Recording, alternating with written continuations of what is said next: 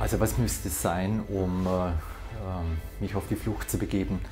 Wenn es eine absolut bedrohliche Situation für meine Familie oder für mich gäbe, wenn ich keine Perspektive erkennen könnte, dass sich diese Situation in absehbarer Zeit verändern würde und wenn ich die Hoffnung hätte, dass es sich an einem anderen Ort dieser Welt besser und sicherer leben lässt. Wenn mir als Frau das Recht auf Bildung, Meinungsfreiheit oder Selbstbestimmtheit verwehrt werden würde. Ich liebe meine Heimat, ich will nicht weggehen.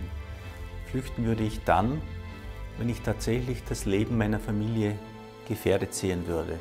Das wäre für mich ein Grund, wegzugehen, wenn ich das Gefühl habe, nicht mehr Widerstand leisten zu können.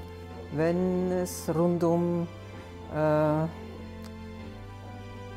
Krieg ist. Wenn Krieg und Terror äh, so überhand wird und Menschenrechte mit Füßen getreten werden. Auch eine Verfolgung aufgrund meines Glaubens oder meiner ähm, Wertehaltungen.